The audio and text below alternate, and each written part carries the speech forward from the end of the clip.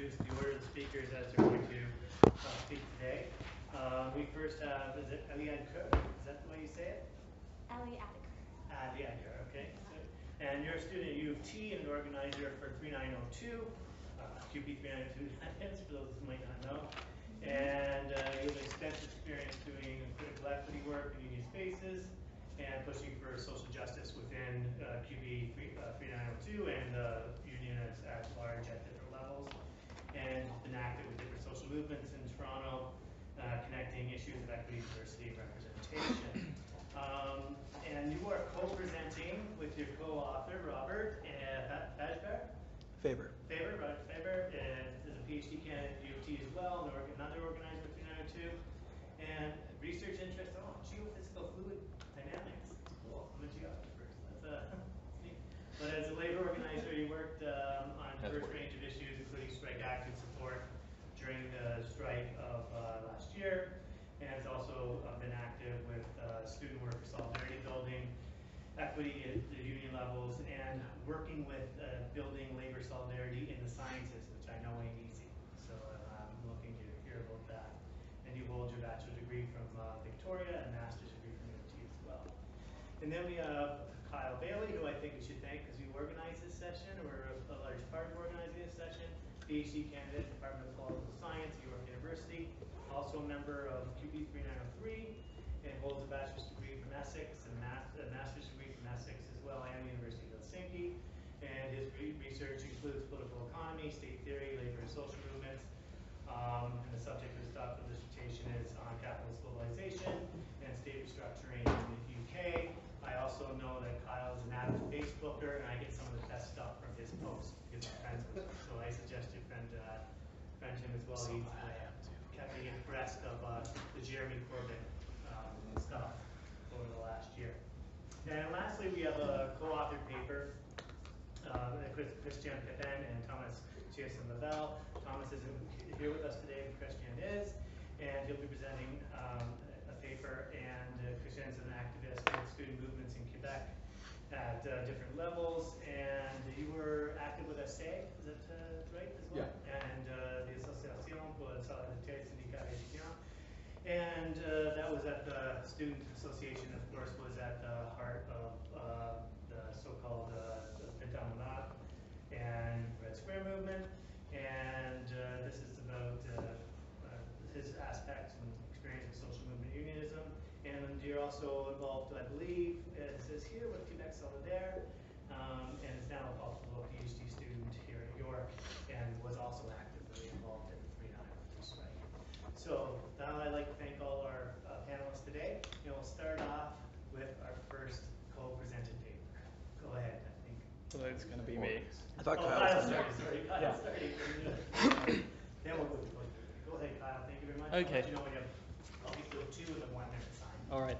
So I basically want to do three things in this presentation. Firstly, I want to talk about some of the successes of the 2015 strike, what we won and why. Uh, secondly, I want to use this uh, and the aftermath of the strike to kind of probe deeper and illustrate some of the strengths and limitations of kind of the model of trade unionism in CUPE 3903.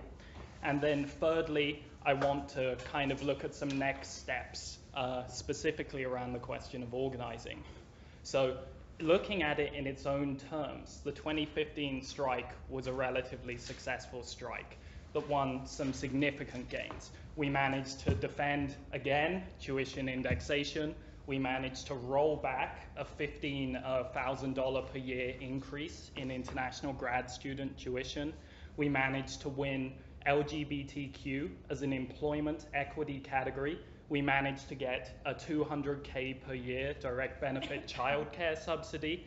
We also uh, got wage increases and minimum funding increases for all grad students and uh, extended some existing benefits too.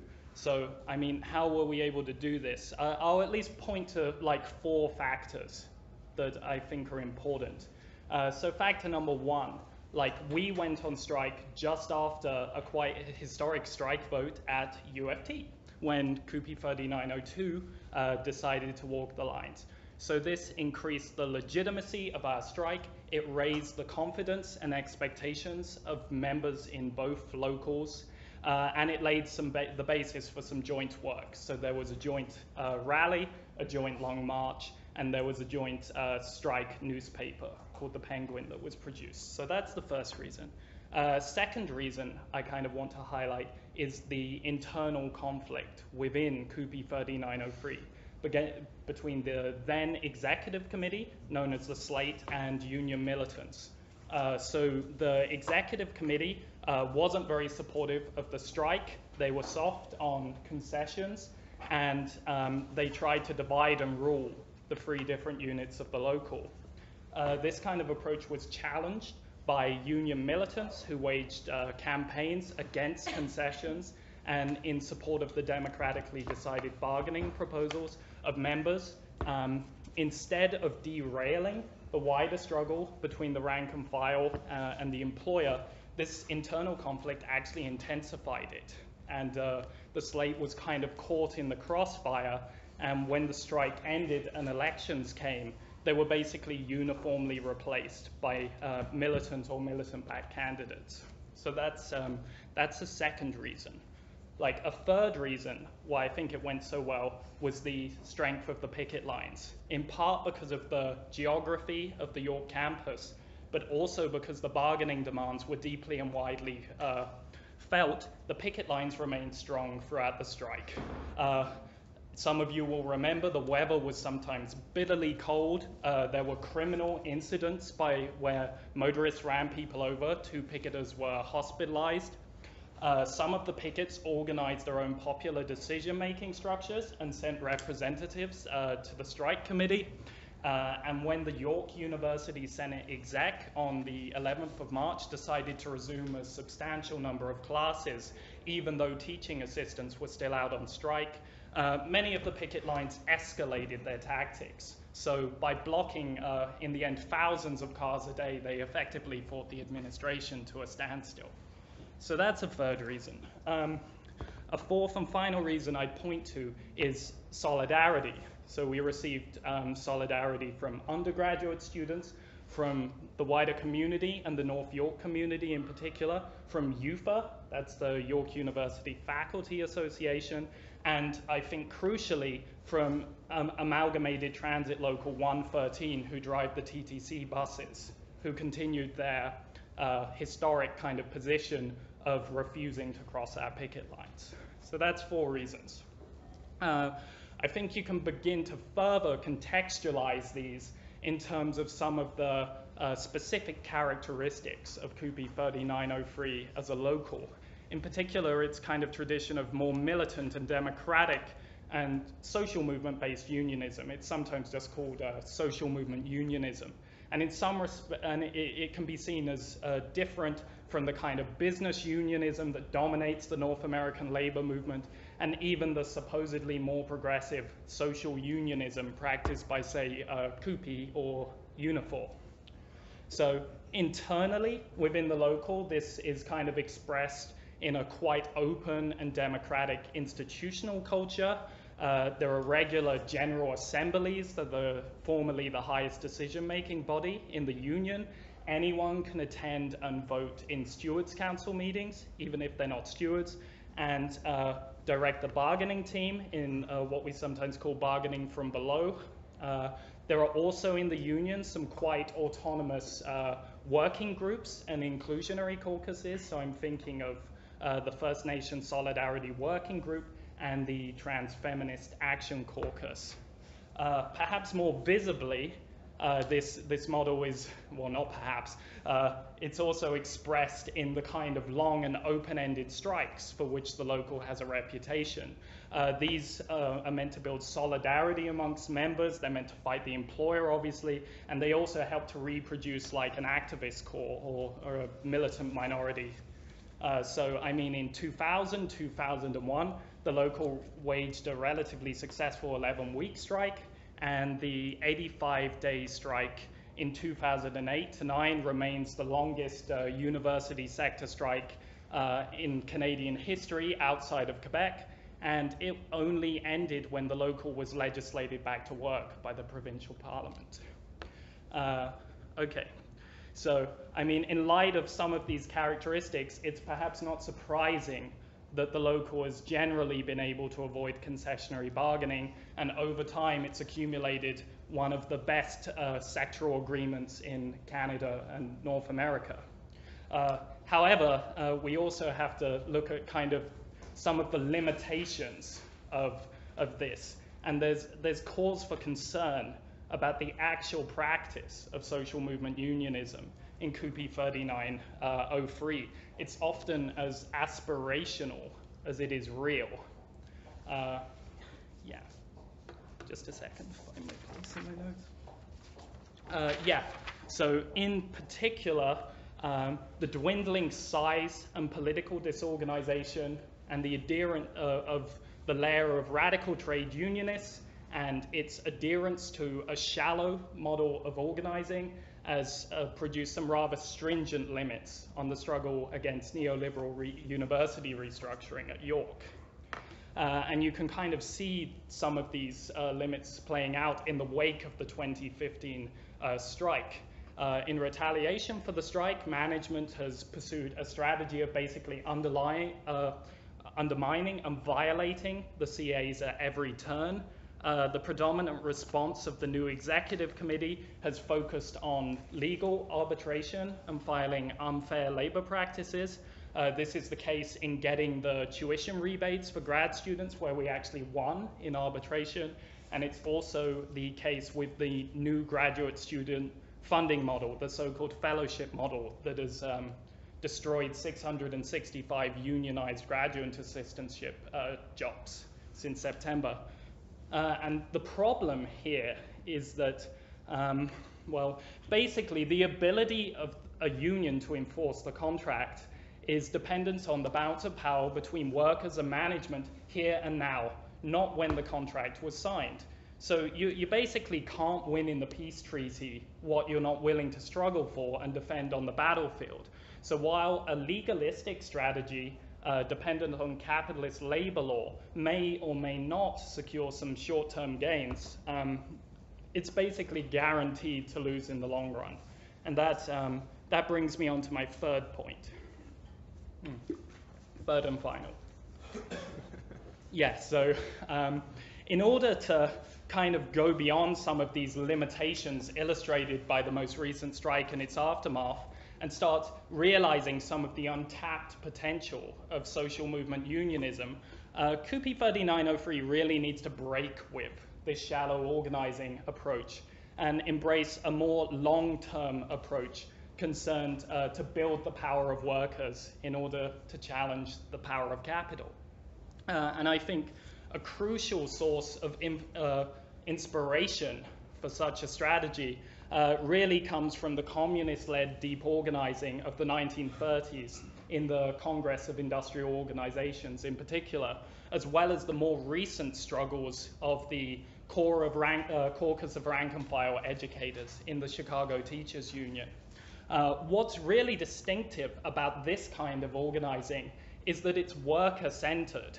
So it's kind of it's trying to draw upon the core strategic advantage that is available to unions in their struggles against employers, which is their own members. Uh, so, following uh, Jane McAlevey, who is a radical organizer um, who studied the early model of the, the CIO, uh, deep organizing can kind of be understood as entailing four interrelated elements. And I just want to comment quickly on each of them before I wrap up and conclude. So the first element of the deep organizing model is what's sometimes called whole worker organizing.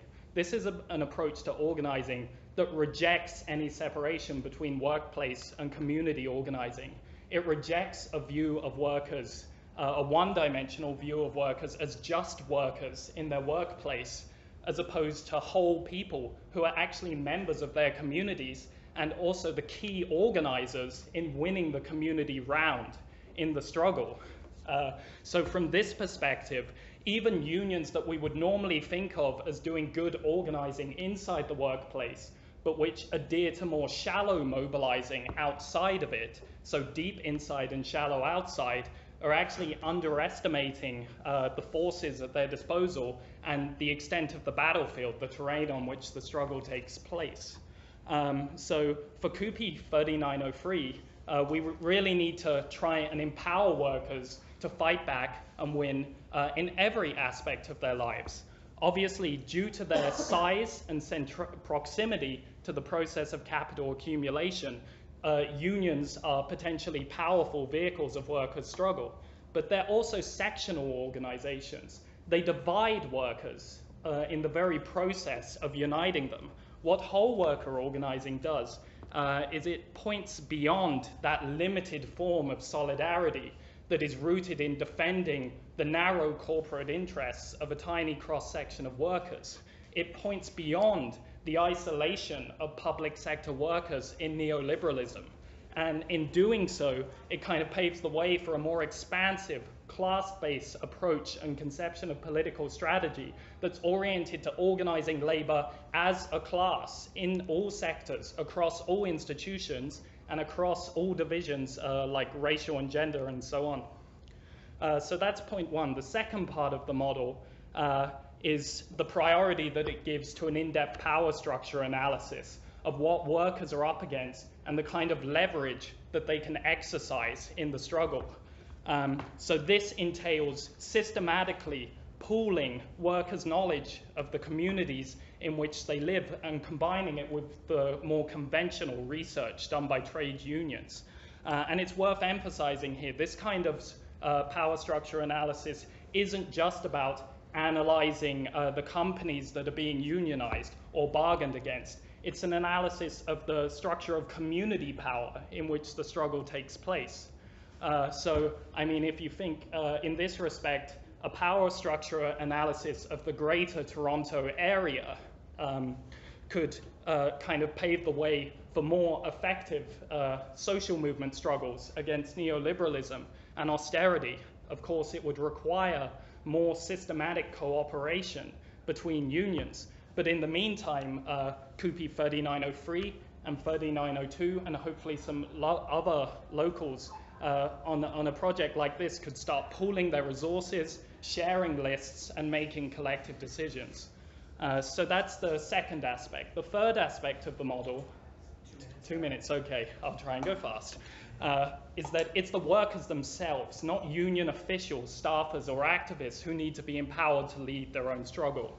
Uh, the key concept here is what McAlevey calls an organic worker leader, because the de facto leaders in any given workplace are often not the elected official leaders. Identifying organic worker leaders requires intensive one-on-one organizing and conversations to find out who they are and to start positioning them to lead their co-workers into struggle. It also requires a comprehensive system of workplace mapping and structure testing in order to gauge and develop workers' capacities.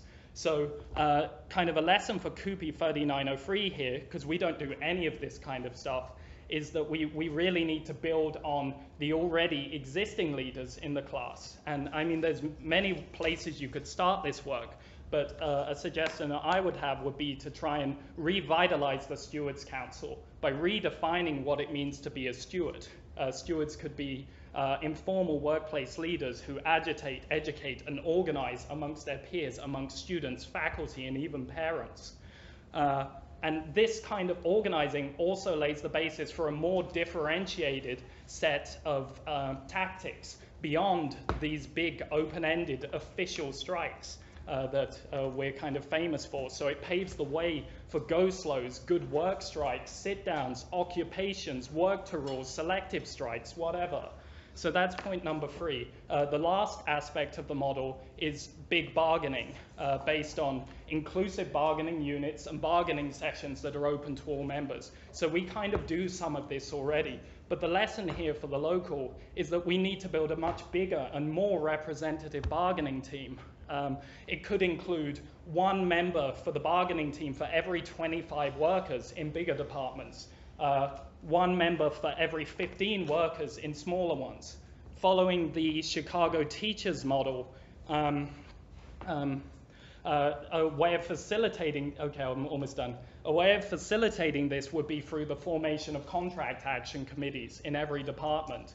Uh, these would be committees that are basically set up to enable workers to discuss the contract in detail, to identify demands that the workers are really willing to fight for, and also to actually formulate language for the contract. So it, it, can be delegated in that way. In all these ways, big bargaining has the potential to increase rank and file participation and also convince disillusioned workers, uh, of which there are many, that the union is their voice in the workplace. And now, just to wrap up quickly with a conclusion, uh, this model is not new. In fact, it's very uh, old. Uh, there are lots of cases out there that demonstrate that it can and does work.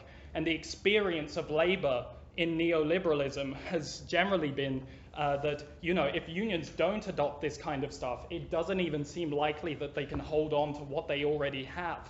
Never mind make new gains. Uh, CUPE 3903 is peculiarly open due to its uh, kind of rare history to such an ambi ambitious project to transform and unify the local uh, by developing a base within and outside the workplace rooted in organic solidarity amongst workers. Um, and that's just as well because such a, a model, it, it takes uh, methodical and determined work. It, um, it's labor intensive. It requires a lot of union resources. It involves significant organizational turmoil. And above all else, it requires putting an awful uh, lot of trust in, in workers themselves. So final point, at its best, um, this model has the potential uh, to, yeah, I know. I learned it. I learned it off Slavoj Zizek actually. But anyway, uh, at its best, this model can rebuild a militant minority in the unions. It can help empower members, and perhaps most importantly of all, it can begin raising wide uh, expectations in the wider working class uh, that workers can fight back and win only if they choose to organize and build their own power. So that's it. All right. Thank you very much. Uh, and now, uh, Robert. Robert's first. Yeah. Um, so, hi everyone. Uh, I'm Robert, uh, as you know. Uh, just out of curiosity, is there anybody here who's from U of T, or is everybody else here from York? Well, yeah, yeah. There's yeah. people in the other room. Ah, okay. Well, they, yeah, they, they can hear us anytime. Um, so, I, so when, when Kyle originally proposed this, this, this panel to us, uh, the idea was we were trying to judge the outcomes of these strikes. You know, was it a success? Was it a failure? And to me, I, I, think we have to sort of change the way that we look at this a little bit. And rather than thinking about this strike that happened at U of T as an event, we need to think about the strike that happened at U of T as sort of one part of a much longer process uh, that I'm going to argue was sort of started at some point around 2010, and I'm also going to argue hasn't really resolved yet. I think this is generally true of all strikes, right? I, I, think it's very, it's very rare that you can find one strike that really just materialized out of nothing and then finished with no long-lasting consequences. But at least at U of T, for this particular strike, uh, you know, I, I think it's, uh, I think it's definitely true that it had this, this sort of long history. So I'm, I'm going to talk a little bit about that history um, and sort of what the strike looked like, uh, and then Ellie's going to talk more about sort of like uh, the sort of organizing in the local after the strike and, and sort of where we are now. Um, so to begin with, I'm at U of T. Uh, I'm going to talk about the 2015 strike. That's different from the York 2015 strike, even though we both refer to it as the 20, uh, 2015 strike. Uh, at U of T, we're CUPE 3902, so it's similar to 3903, represents academic workers at the university. Uh, what's different from uh, 3903 is that at 3902, um, we have our units are set up a little bit differently. So unit one, which is the unit that went on strike, represents anybody who's employed in any other capacity at U of T and then does teaching. So if you're a grad student and you do teaching, you're part of unit one. And it doesn't matter if you're a TA, course instructor, invigilator, whatever it is, if you're a grad student and you, you have some other kind of academic work, you're part of unit one. Similarly, if you're an undergrad student or a postdoc, if you have any kind of teaching work, it doesn't matter the nature of the work, but just by being uh, an undergrad or a postdoc at U of T, you're automatically lumped in with U of 1, Unit 1 for that teaching work. So it's, it's a little bit different of a, of a structure. And Unit 1 is, is the unit that went on, on strike. Um, and because of, of, this structure, all of the people, well, I shouldn't say all of the people, almost all of the people who are part of Unit 1 are also graduate students at the university. Um, and so this is a, a, fact to keep in the back of your head because it, it plays into our story later. so leading up to, to 2015, there's a lot of stuff that happened. Particularly, I want to go back to 2010 at U of T because there was this very ambitious project that was set up. Uh, and it's, it's, unfortunate that, that um, Katie Mazer is in, in, the other room giving a presentation. She was one of the original organizers of this. Um, I was still an undergrad at the University of Victoria, but anyways. Um, so there was this ambitious project called the General Assembly. And the idea was to pull together people from all different groups at U of T and put them in one place at the same time so they could discuss their issues. So there were graduate students there, there were undergrads, faculty. It was this very big organization. And the things, the demands that came from this organization, because they weren't tied to like a faculty association or a union or a student union, the demands that came out of this organization were very large, right? This wasn't, these weren't demands related to any particular subset, these were big demands about like changing governance structures of the university radically. These were big demands about you know all, fundamentally changing the way we teach at the university. Right? It was very large demands, and that radicalized a very significant portion of people, and I radicalize them in a very particular way. Because it's one thing to say we want uh, you know item X on our collective agreement to be changed to Y. It's another thing to say that the entire structure of this university is wrong, and we're going to fight until it's changed. Right? Those are very different. Um, uh, sort of forms of engagement and sort of forms of thinking about politics. And so the General Assembly was very successful at creating uh, at least this notion of thinking about it. What it wasn't successful at was actually organizing people to do things. Uh, and part of that was because you had such this, this, uh, um, this sort of hodgepodge of different people participating. And there's lots of other people who were there can tell you much more about its strengths and weaknesses. But it was at least successful in that it got people to think differently. So then come 2012, there's this round of bargaining at CUPE. CUPE Unit 1, uh, is bargaining. And a lot of people sort of infused with these ideas from the, the sort of General Assembly, which has sort of died out by this time, but sort of infused with those ideas, are putting forth very radical proposals into bargaining, right? They're talking about limiting class sizes. They're talking about, which maybe doesn't sound very radical, but in the context of U of T, where we have undergrad classes with several thousand people in them, right? Limiting class sizes is a very radical demand, right? So, um, you know, it was, it was a very strong, and there was a, a very strong link to undergrads. And the other thing that's happening around this time is that Stewards Council is also very active, and they're very active at organizing people on the departmental level. So like I come from the, the physics department, I'm a physicist, and in the physics department, talking to people who were there at 2012, they remember that even in the physics department, which is quite a conservative department compared with, say, geography or um, political science or something like this, very conservative in comparison. But even there, there were picket captains who were, were sort of like trained and ready to be picket captains and had like actually lines of people right? They had lists of phone numbers, and like one of my friends was showing me. They was like, yeah, I was going to call up these 10 people, and that would be our picket line, and we were we felt we were empowered to do whatever we needed to do to make the strike happen. So it was very much organized from below, right? It was a very different setup, um, but there was no strike. And there was no strike uh, because at, at, there, there, was this sort of 11th hour decision where CUPE National came in and said, uh, we're not going to give you strike pay for the first 10 days. And as a result of that, the chair of the local made this big speech to members and said, you know, we can't really go on strike, we can't afford it, a lot of members can't afford it. Uh, and there was a very, uh, the, the vote was very contentious and was very split, uh, but they actually accepted a deal from the university, which was basically nothing. There, was, there weren't concessions in it, but there weren't any sort of gains. It was basically just the status quo for another three years.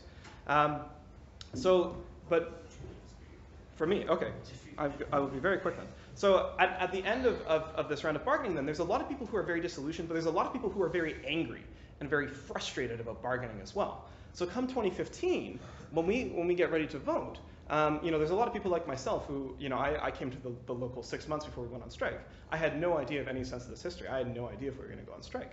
But there was this huge layer of people who had been radicalized in 2010.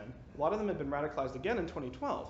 And these people were angry and they were mad. And they weren't just mad at the university. They were mad at the, the leadership of the union as well. They were mad at the bargaining team before they even got a chance to bargain right? And so you, so the major demand that they changed was that originally the bargaining team had some very wishy-washy language about changing fellowships for graduate students. So we get funding from our TA wages, but there's also a section that's paid to us from the university as this portion of fellowship.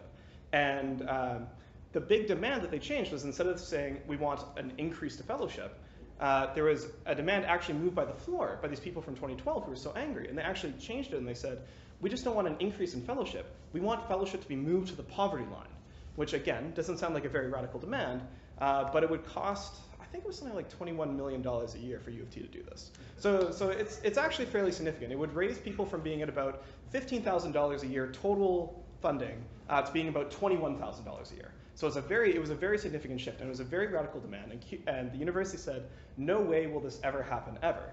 Uh, and so the bargaining team brought back this, this contract, which, although it didn't contain concessions, didn't contain anything really about this poverty level language that we wanted. And we voted it down 90%, right? And it, but what I'm, what I'm arguing is that the reason we voted it down so much wasn't because of anything special that happened in 2015.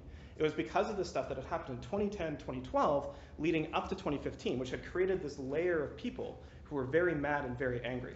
And I'll, I'll use my, my last little bit just to talk a little bit about the organizing that went in right before we started in 2015, because I think this is important to realize too. So the organizing that went into sort of strike preparation up until 2015 was very much centered at sort of the executive level or the strike committee level. So there, there was actually quite a large strike committee that had formed, although it was almost made up entirely of political scientists. Uh, it had very little buy-in from other departments across the university. Um, and you know they, they had like they had media press releases ready they had stuff like they had picket lines like i actually saw there was a map where they had like picket lines drawn out and they had some scheduling stuff ready and stuff like this Can I cut you off for a second? Yeah. So the reason that we say political scientists isn't just because we're riffing on political scientists, it's also because um, the political science department, there's, there's a lot of overlap between the executive committee in CUPE and the political science department at U of T. Yeah. And so people who were called on to be part of the strike committee and called on to do the kind of organizing Yeah. surrounding the strike were kind of like, we're already friendly with like an inner circle um, of people in the union. yeah there was there was definitely a clique uh, sort of around those people who were mostly on the strike committee um, but and so so they, they'd organized at this very high level but what hadn't happened was any kind of uh, organization down at sort of the level of individual members or really the departmental level so like i was saying before i'm from the physics department the physics department hadn't had a shop steward uh, for i think two or three years before i took on the role later um, there, there just hadn't been a steward so for us in the department there was almost no organizing that happened right? Almost nothing happened before the strike. Suddenly we were on strike, and there was this sort of feeling of, oh my god, what do we do now? And so, like, we actually, like, there's myself and a few other people got together, and we actually canvassed the entire building ourselves. I think four times in the first week, and like we wrote letters to our own department and stuff.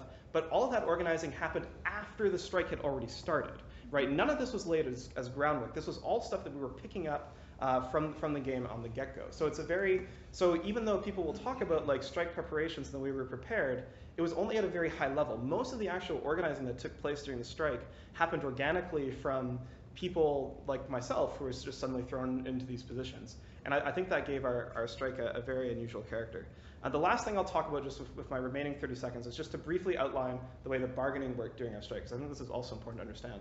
So the first meeting we had uh, to discuss with our bargaining team during the strike, uh, it wasn't an offer from the employer. It was an offer from our own bargaining team.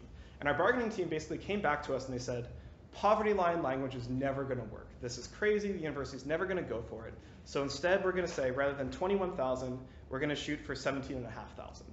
And we think the university will come back and they will deal with us at this point. And there was a very uh, contentious discussion about because it was, it was basically the bargaining team was asking to lower our own offer, right? Instead of waiting for the university to offer a lower offer, the bargaining team said we'll just do it ourselves.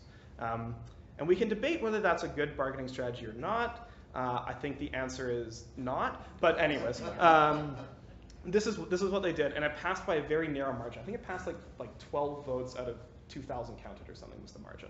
It was very very contentious. But this gave the strike a very different character after too, because we went from having this very aspirational goal of poverty line to suddenly this like kind of lukewarm goal that people didn't really know how to feel about it. And that happened right in the middle of our strike. Um, then the way our strike actually ended was not with a ratified deal with the employer, but actually with a vote about to go to binding arbitration. So the employer offered us binding arbitration. The bargaining team said we can't accept this on our own, uh, but they offered it as a vote to the membership, and it passed, I think, by about a three to one majority at the end, um, af- af- sort of after being four weeks on strike. So that's just some to outline how bargaining went during the strike. I've talked for too long. I'll pass it over. Just really quickly before I actually start what I'm supposed to say, um, I'm just thinking about like the when when the idea of binding arbitration came up in the membership meeting that we had. That was the meeting where our executive decided to open the polling stations early before debate had even started. Because people, and what they did, and the reason that they did that was because they, they framed it as like an equity concern, because they said that meetings can't run long because people with children are gonna need to go. It's like an accessibility issue if people are forced to sit through this entire meeting to kind of cast their vote. So it also kind of colored the way, um, that, that the decision to go to binding arbitration began. And I also have this very vivid memory too of the, of the person who is now the chair of our local, but at this time was the representative for, for workers from Unit One who had to deliberate this, starting off his remarks by saying, like he addresses the room and he goes, I'm not gonna talk for or against binding arbitration. And then for half an hour, he continued to, he, started to list all of the reasons why binding arbitration would be a very good decision. By saying also it would be a very terrible thing. Like there was, there was a very clear bias. And I think that like, one of, the- one of the things that, that I wanna touch on is kind of the, the way that organizing happened during the strike. And it has a lot to do with what Robert was saying initially about, um, the preparation and the lead up. And I think that, um, for, for the most part, our, our union, 3902, the executive committee of our union, the bargaining team of our union, did not expect that we were going to vote to go on strike. Um, and part of the reason they thought that was not necessarily because of the nature of like the deal that they'd worked out or the nature of anything they were proposing, it's because our membership is traditionally not very mobilized in the first place.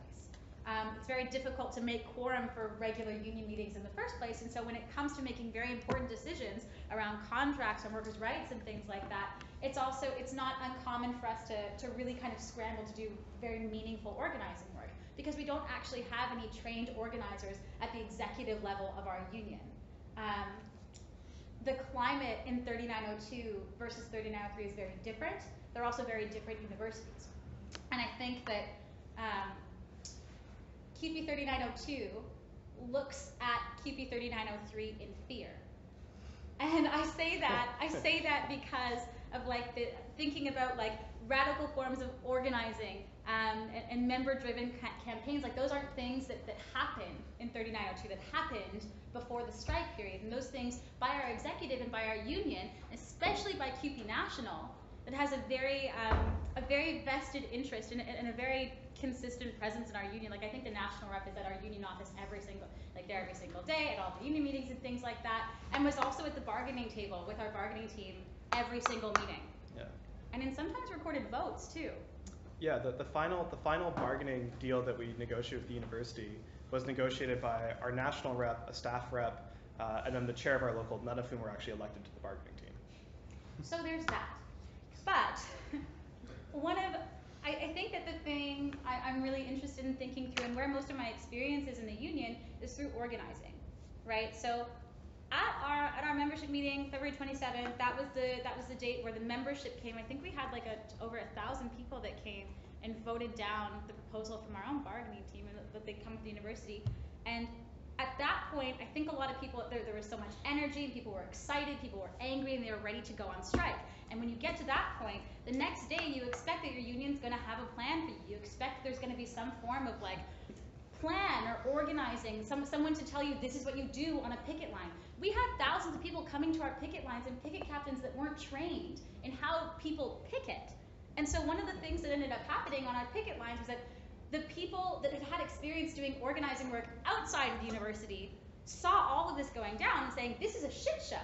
Like these people don't, like we didn't even have chance when we were on strike, right? So it was like, it was, it was all of these little things in the lead up that people at the grassroots level didn't have that a lot of us who'd had organizing experience outside of the union had to kind of make up as we went along. And we didn't have a lot of support from our executive committee or from our strike committee in doing that because there was a very I think that the, the view from our union during the strike was that they wanted to keep power and decision making in a, in, a, in a very closed space among members of our executive committee, members of our bargaining team. We even had two separate strike headquarters, right? So we had one strike headquarters at the Graduate Student Union, and that was where all of the people on strike, all the picket captains would go to get supplies and drop things off. That's where we had picket captains meetings. And we had a second strike headquarters that was at our union's executive office.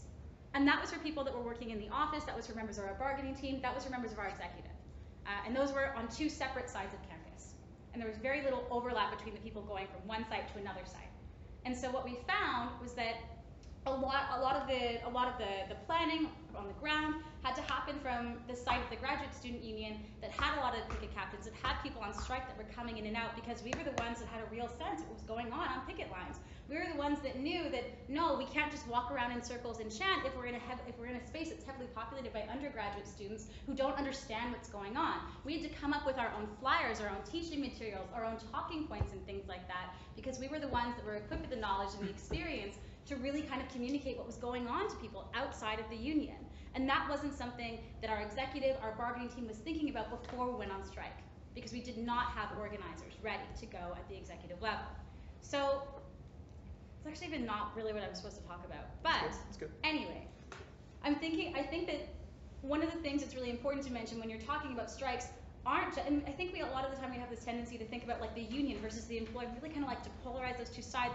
But I think one of the things that that really erases are some of the tensions within our, within our own labor, within our own unions. And that was something that was really prevalent in CUPE 3902, not just through the things I've already expressed in terms of like the executive and bargaining team kind of with folks versus like folks uh, um, like picket captains, people on the ground, but also thinking about factoring in issues of issues of equity and things like that. Issues of like sexual violence on our picket lines, violence against women, like those things were so incredibly prevalent and it was disgusting. We had women that were coming in to our strike, like talking to our strike coordinators about not wanting to be placed on the same picket line as picket captains that had like groped them, harassed them, sexually assaulted them, raped them during our strike. And the same consistent line, the same kinds of consistent lines came up, the same response came up from our union. You know, stop thinking about interpersonal conflict, stop thinking about personal disagreements, and focus on the goals of the strike. From our own union. From our own union.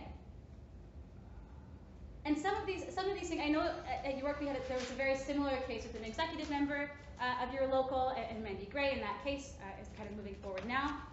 But this is something that went largely unaddressed in 3902. This was something that we were often told not, not to talk about, not to bring up, because we had to kind of like defer to these broader goals of the strike that weren't well laid out by our executive, that weren't well laid out at union meetings and things like that. And what that led to during the strike, but also now, also in the aftermath of the strike, is this idea that talking about issues of like social justice and talking about issues of like critical equity are these ideas that then take away from like the broader goals of the labor movement. It was just this form of like business unionism that that, can't be like reconciled with, with different people within with different members of the union. And so that's been something that's been particularly polarizing. And I know so from my position, I was I was a I was a picket captain. Then I started organizing during the strike and mobilizing. At the tail end of the strike, I was elected to the bargaining team. And after that, I was elected to the executive. I have two minutes left, and I will talk real fast. Um, but going through that, February 27th, that first meeting that, that like a thousand people came to, that was my first union meeting ever, right? Like this, this was an experience that that forced a lot of us to learn about how to do real organizing work in CUPE really quickly because other people around us, the leaders, the people who were supposed to lead us through this experience, didn't know how to do it.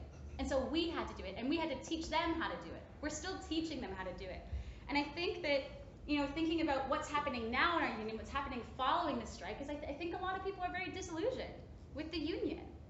I think that, you know, the, what came out of binding arbitration wasn't a decision that fell in our favor, but it's something that our union will consistently tell us was a win. We were told it was his, we had historic gains during this strike when it was very obvious that the arbiter fell in line with what the university was asking for, right? And people see through that. The membership of our union, we see through that. But there's not really a way to communicate that in our union without being kind of shut down from not just from your executive and not just from former members of the bargaining team, but also from CUPE National, right? So I remember my, my first bargaining team meeting, walking into that room and our bargaining team admitting to forgetting to calculate a quarter of a million dollars into an ask from the university. And the conversation that we had for 45 minutes after that was whether or not we should tell the members about it. And our national rep saying, as members of a bargaining team, you are bound to confidentiality because you are part of this bargaining team. And this is a line that after talking to people on bargaining teams before, in the past, this is something that's come up like again and again whenever things happen, uh, bargaining side or from the executive or things that don't fall in CUPE's favor, we're kind of like, we're kind of forced or pressured into this silence from one particular national rep that we've had by our side for years and years and years.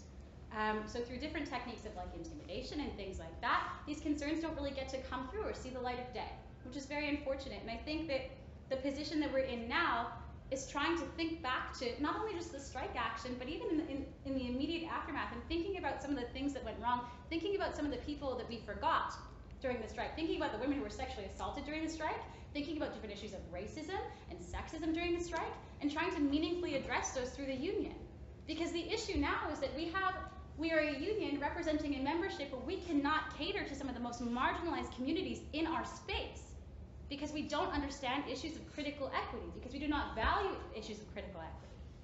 Um, so that's where we're at, and I mean, I think I really, I really just echo Robert's initial comments, right? And thinking about whether or not we, we've, won, we won the strike or lost the strike. I mean, I think the decision in binding arbitration is very clear, and that was something that really that hit a lot of our membership hard. It's the reason a lot of people don't come through to our meetings anymore.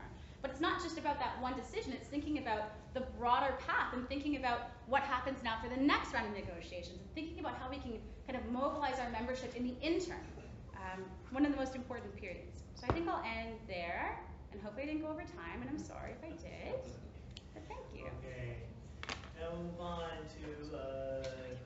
Christian, that's it. Christian, and, uh, I'll give you the same thing, I'll give you the two and the one sign. Perfect. Okay, um, so what I want to do is maybe, um, because everybody talked about maybe the mixed results, so I will not go over the demands that much and um, the analysis, but I think it's good to start with the idea that within the austerity context, I think we have to assess that really there was some gains that were achieved, and this is important to. Um, but then I think we need to have a more sober assessment about um, what were the contributions and limits. I think we need to go beyond the immediate demands and the gains themselves to look at the wider conditions of struggle within the university sector. And I think the kind of strategic concern I want to raise that cuts across what I want to talk today is mostly how, um, and this builds out on how the strike or collective bargaining needs to be seen as a process and not just something cut off in time. And I think the strategic concern that, um, that undermines what I want to talk today is how public sector disputes um, should raise the idea of how to um, how to transform collective bargaining or a strike around collective bargaining in terms of a wider struggle for free, accessible, quality public services for all. And in that kind of strategic concerns, I think this is why I think we need to look at the kind of strategies, the kind of solidarities, the, type, the types of demands we put forward, and not look in terms of only what did we win at the end of the strike, but what kind of conditions it established to bring this struggle forward and uh, in the longer term. Um, so this is why I think we need to look beyond and look more um, clearly in terms of the internal dynamics between unions, within unions, within other movements, and see what this kind of movement kind of achieved.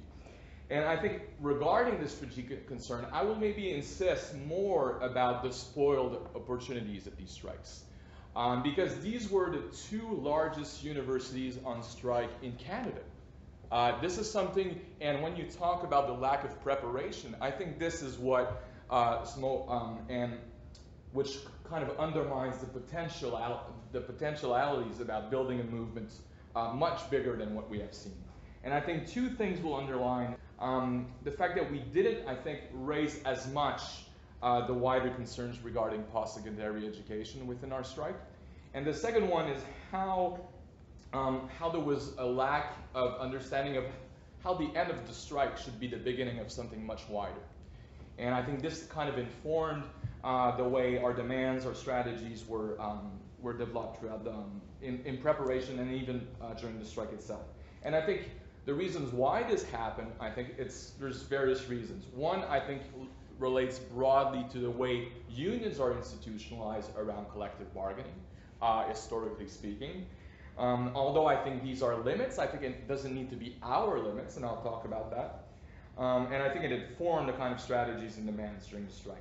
Uh, then I think for the CUPE 3903, because this is what I'm going to talk more about since this is where I was rooted, I think the legacies of the 2008 and 9 strike, and I think uh, Kyle uh, mentioned it, in terms of how the new executive that came in uh, within these legacies undermined uh, internal democracy. And this had much more profound consequences in terms of the space or capacities and uh, kinds of places where it could, could de develop strategies and perspectives.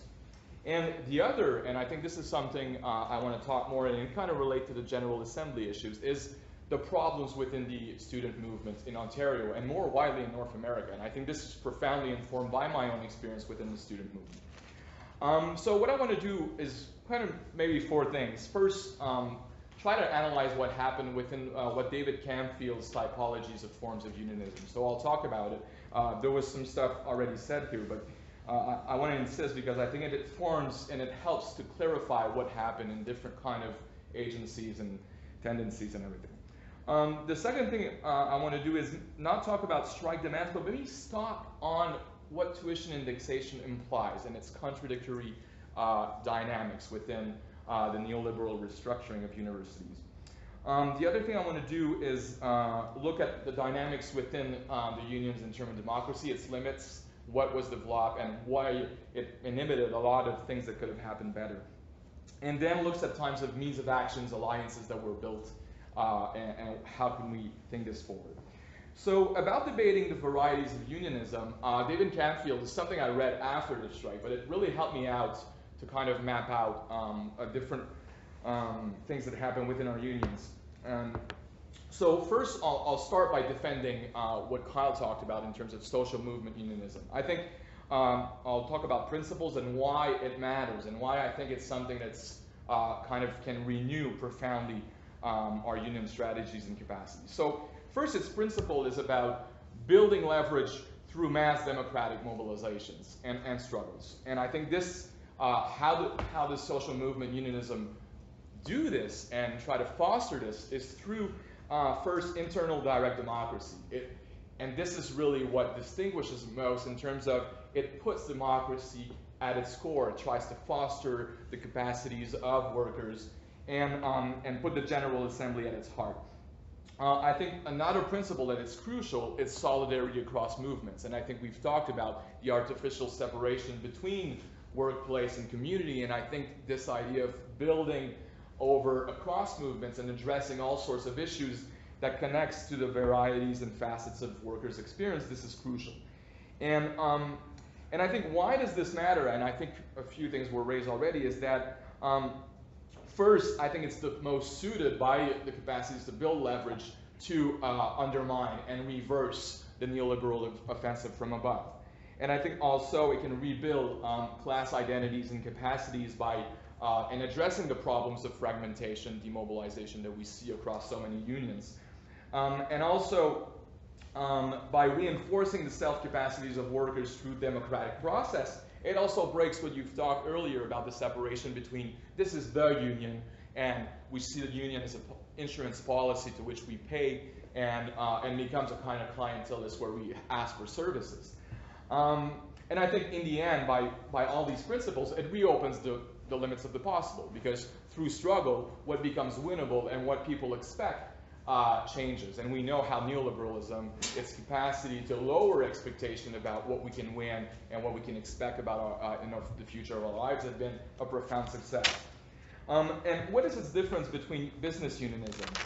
Well, first of all, uh, business unionism has been um, or structured around um, collective bargaining, and it sees collective bargaining as uh, the end goal in itself, winning better collective agreements, um, but without connecting it to broader uh, issues. And it relies on representative democracy, and its connection to wider politics is mostly through lobbying, um, through charitable activities as a way to link the community um, and in a way, all unions are business unions in terms of they incorporate the issue of collective bargaining. But nevertheless, and I said this in my introduction, this limit about collective bargaining doesn't mean to be our limit. And, um, and this is something, um, and I think this is also a problem in terms of how even business unionism, and I think it was already said, in terms of how even the capacity to win demands and improve collective uh, bargaining uh, by its own strategies undermines more and more. And we see the kind of shift between having good jobs and quality jobs between just saving jobs. And I think this is a kind of trap into which business unionism is more and more uh, um, caught up into. Um, the other two is, is really important also.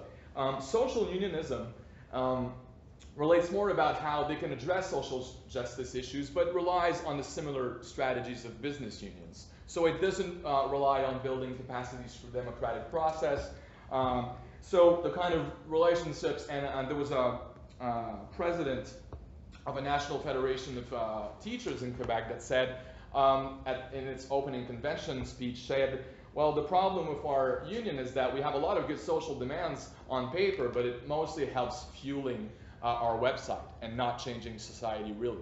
So you can have, you know, a lot of people, you know, building campaigns around public relations, at best one demonstration, but at the end, it all resolves into electoral politics at the end. So there's not a transformative capacity that are built through this kind of issue. And then mobilization unionism, which can look much closer to social movement unionism, is that it does put social justice issues forward. It does build solidarity across movements. It tried to mobilize the wider membership, but it does this in a really top-down approach. So it, do, it, it doesn't really foster democratic process and put the General Assembly at the core. And already by trying to distinguish this, you'll start to see how this can relate to different agents within our unions and the wider. Um, so then, just stop, uh, and how much time do I have? Got you another four minutes. Okay, so I'll try to go fast. Um, tuition indexation, really rapidly. I think this is something that um, you know relates to a, a, really important historic game within our union. Um, the problem, I think, is that it has a contradictory aspect. Because I think we need to put this in context where this was won. It was won after the deregulation of tuition fees by the Harris government. And I think it needs to be seen as a kind of um, last resort safety net. In the context where the highest tuition fees had become the new normal in Ontario, and the moment, and there was the Days of Action movement, which tried to defeat these neoliberal reforms, and it un unfortunately failed to reverse these. It it, all our local kind of reverse to collective bargaining and try to try to protect ourselves in, and in a really union way to say, well, we need to protect ourselves uh, against higher tuition fees that would cut off our wages. But then that kind of normalizes tuition fees at the provincial level, at the undergrad level, and for all. And I think this is something to really reflect about in terms of how do we pass from a struggle based on defending tuition indexation for the few of our members to a, a, a, fight for free education for all. And I think we fight for so long defending this that we need to pass to a new stage. And I think this is something I want to look at during the strike. Um, then, in terms of the legacy of the 2008 strike, I think uh, Kyle talked about uh, the three-month strike. I want to briefly say that the legacies of this is that it ended in a kind of mixed resolve bitterness where uh, it, it opened the space for a new executive to come in with the idea that the problem is that uh, you know, there was a radical uh, activist left that kind of undermined the legitimacy of the union, and we try to need to rebuild this. And I think the contribution of the executive, because I want to highlight it, is that they had this kind of mobilization unionism to let's go outreach the wider membership. So they tried to go out to uh, departments that were less uh, mobilized before. But the, uh, so that was the contribution. And in terms of the strike turnout, and the strike vote turnout. It was some of the highest participation rates in, the la- in, in, in almost the last decade. So I think this needs to be recognized. But it did this by undermining uh, democracy. So it mobilized the membership, it brought them to the assembly, it brought them to strike vote, but it didn't foster the capacities. And it cast the activist left as unrepresentative of the union. And I think this creates a profound division. And I think the problem with um, this is that our, our, uh, our file was so concerned, and it's normal that it tried to defend the legitimacy of the General Assembly by being casted as unrepresentative as an affinity group, and we had a lot of experiences with that. But this, um, how could I say this, it's marginalized the General Assembly as a space to strategize together because we were so concerned about trying to just build a legitimacy. So it kind of, so we didn't have you know, the space that should have been the key space to think about campaigns, about strategies, about we were completely uh, marginalized just by fighting our own union. And I think this is important to, um, to look at. Then I want to maybe look a bit about the ambiguous balance of power, because um, I think Carl mentioned the, the, the, the strongest of our picket lines. But I think we need to be more strategic about picket, picket lines in terms of making them context dependent. Uh, when the strike started, uh, we, we picket on an almost empty campus. Undergrads were not there, and um, there was not a lot of people to talk to. So the capacity to outreach, to you know, uh, break the separation between workplace and community was really hard in these kind of conditions. So um, in that sense, and I think this was really institutionalized by the strike fund rules, which try to try to keep us where we were instead of saying where could we go outreaching. And so, and it made also the university as a prohibited zone instead of reappropriating it and having you know free education courses given by profs, given by students, and it could have been a really living experience instead of just being outside, especially in a, an almost um, empty campus. Um, nevertheless, I think uh, there was initiatives that go towards social movement unionism in terms of uh, um, the, the newspaper that Kyle talked about, the Penguin. And I think this is really important because I think this was the most profound outreach strategy in terms of going into the TTC subway stations and spreading the word about not just our local demands, but about all sorts of general issues regarding working class situation, the rising cost of living in Toronto, about housing, about the TTC, and about living wage issues. So I think this was a really interesting, and most of all, it did not just try to stress out these issues, but it also invited the broader population to a large demonstration. That was the goal. Unfortunately, I don't think it worked that much, but it shows the difficulty to build this kind of uh, bridges between workplace and community. And I think it's a real long-term process. Also, uh, these big demonstrations uh, that were done, um, then maybe a limit that also shows problems within the internal problems of the student movement is that during our strike there was the lobby week of the CFS. So they lobbied Queen's Park about tuition fees. But it did this in the lobbyist typical social unionism way without calling for a broad demonstration. Imagine if in that context, leading up to these strikes, the two largest universities would have been coordinated and called the, all universities of Ontario to demonstrate in Toronto uh, downtown. Instead of having just a 1,000 people march, we could have had thousands and thousands. It could have been seen in, in, a, in a wider struggle. And unfortunately, I think this was a really profound spoil opportunity. What can be done now? And I think I want to stop. This is where I want to get at. Is that um, maybe to put a kind of middle bridge between what Kyle talked about, you know, the long-term rebuilding of the working class capacities as a whole and challenging capital and state. Um, my, my, my position would be at this stage a more model ground modest contribution in terms of how could we do this within the university sector. Um, so I think a first thing would be to reinforce the institutional capacities of coordination between locals and hopefully try to do this better preparation. And um, so I think there's a new bargaining round that's coming, but I think this is something that needs to be done immediately instead of waiting and happening what you were experiencing in CUPE 3902. And also, it's something that really related to our experience as well. Um, but also, I think we need to also not think of this just in terms of preparing the next bargaining round. I think we need to have wider campaigns and wider demands that are not are not going to stop within the strike, and which could create the conditions for when the strike ends, the struggles continues.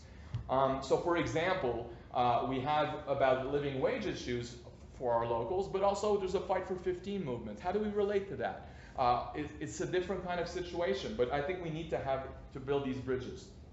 Um, another thing, I think, within the internal student movements. I have another minute. Give me one minute, one minute, so Okay, I'm going to try to wrap up. So the internal student movement issues, I think the main problem was a lack of real General Assembly. What you talked to, what you referred to about a General Assembly in 2010, um, but the lack of institutionalization. There was something happening similarly in Vari Hall. Undergrads were starting to meet um, and start to pose their own demands. But unfortunately, with the YFS structure, it didn't. Uh, it was unable to foster and mobilize these students. So, what about creating student assemblies that could, where undergrads and graduate students could meet as students and share experiences instead of being, you know, I'm your TA and you're my, uh, you're my student. We can meet as students and start to think in a different way. For example, we could start putting forward how could we go for a campaign towards reducing tuition fees. And, and in this way, I think there's a lot to learn about the Quebec experience in terms of the types of general assemblies, the types of organization, and the issue of a strike and the general strike as a way to build leverage against the government. And I think this is somewhere, this is why we can look across Canada. And in Quebec, we have the lowest tuition fees, while in Ontario, we have the highest one. I think we need to study more how transforming the student movement could create relationships, that could create capacities to confront the neoliberal restructuring of the university. I think I'll stop there and we can have a good, good talk. Um, We'll stop there, There's a 'cause I lot have to over stop. here, uh, people stuck to time for the most part. Um, We'll have a, we'll do a round of comments, questions, I'm gonna ask both the audience and the panelists to be as uh, pointed as you can, and the panelists, uh, feel free to answer the questions as they come up, but it's not an opportunity to give another paper, all right? So we'll keep that in mind. So does anybody want to start us off? Okay, maybe you can tell your name too. Uh, Brent. Okay, Um, when Kyle was talking about whole worker organizing, I was thinking a lot about the relationship between academics and working as TAs and how those two influence each other. Because I noticed this year, uh, especially around TA contracts and stuff like that, a lot of this bleeds into the academic world and how you want to be seen as a student. So a lot of the, a lot of professors, a lot of like supposedly far left radical professors will push TA contracts and try to push you into doing things because there's a certain like expectation that if you can't do this work, you're a bad student, they're not going to be your supervisor. So there's the contract and there's what we bargained for, etc. But then there's also, you know, these informal sorts of pressures also from faculty. So I was wondering if maybe the panel could speak in ways that we could look at these things uh, in tandem and maybe how we would go about that in terms of organizing. Paul? Okay, um, thank you for your presentations, all of you. Um, I, I'm, uh, I'm, I'm from York here, so I'm, a 3903 member, and I, I, I, uh, I was on strike in 2015. Um, I'm not, this is just a pre- pre- preface to my questions. Um, I, I'm not particularly involved in 3903, uh, partially because, or large part because I live 80 minutes away by transit, I live in Scarborough, and so I'm not gonna come here for, a meeting unless I have something else to do on campus as well. Uh, I am very involved in my other union, which is um, the Ontario Secondary School Teachers Federation, and where I'm on the executive of the Supply Teachers Unit. Um, so I guess I have a couple questions for um, for Robert and Ellie, and for um, and also for um, for Kyle um, around like what do you think about the and you I think I think especially Robert and Ellie you kind of alluded to this and Robert, especially in your personal experience, what about the significance of trying to bridge this gap between like a lot of lefties in social science and humanities and not a lot of lefties in the sciences or engineering or computer sciences? I mean, that was pretty evident. And like, I mean, in our picket lines, there was like the, there was a reason that 3903 combined certain units, departments on each picket line, so that geography and sociology were compared with less militant departments, shall we say. Uh, and poli sci was compared, and, and so on. Um, Name names. so like that. So what, what, how, how significant is that? And I guess like what, how would you how would you do? What do you think about that? Um, Christian, um, you talked to us a fair bit about direct, direct democracy and, uh, and uh, the, the potentials for us general assemblies. Um, and I think there's a lot of interesting possibilities there. Um, what about like what like, what about like the the issue of around the limited capacity some people have for participating in general and regular general meetings and general assemblies in terms of like there's a certain group of people that can they live on campus and live nearby that their, their life circumstances permit them to go to meetings every day or a couple times a week and those of us that can't um, how does that how does that balance out how does that balance out All right. Anyone else? Yeah. Okay, go ahead, we'll take you two, and then we'll go to the panel. You know your first, go ahead. Oh, okay, cool. Um, yeah, my question. And you can say your name first. Oh, hey, my name's Flint. Uh, my question mostly relates to Christian. Um, given that right now, and unfortunately in most of English-speaking Canada, that there are not general assemblies, there is actually, it's good to point out, a campaign right now that's being started at York to make general assemblies the highest decision-making body um, of the of the YFS. Uh, it's a pretty small campaign that's just getting off the ground. Interesting. Yeah, yeah, collection of more. signatures, force a re- referendum, anyway, we can talk about that after. But, given that that situation doesn't exist, um, without general assemblies where you could possibly mix in, you know, graduate students, uh, with undergraduate students, and this is open to anyone, how do you, how do you form those links? Because I was part, with undergraduate students, I was part of undergrads for CUPE three nine oh three, which was active here at York in supporting the strike. And it was really difficult to kind of like, we would go out to the picket lines and stuff like that, but it was difficult to have any type of like coherent back and forth with the union. Actually, even in our meetings, part of the problem I would say was that we relied on consensus decision making when we were a massive group who all had very different opinion on things. But when we brought up bringing up free education, like free tuition, were like, well, no, we, we're here to support CUPE three nine oh three, like why, we can't talk about that, that's like being selfish, that's weird, like why? And then like, we, people were able to shut that down based on the fact that that's, that has nothing to do with what they're bargaining for, which is very unfortunate. So I'm just wondering, without general assemblies, because that's an ideal, it's like, how can we make those connections? Um, yeah. Yeah, hi, I'm Jacqueline. I was literally about to say the same thing, that the Revolutionary Student Movement has started a GA campaign already and have been collecting signatures on the petition and stuff, so like, you could connect, um, people can connect with them. Uh, I guess my question, um, is we're, we're talking about capacity. For me, I find more, I mean, part of capacity is also how do you get people motivated to do certain things. Um, uh, especially since, I know, like, for thirty-nine oh three, we offer, like, lunch and TTC tokens to, like, subsidize for meetings, for instance.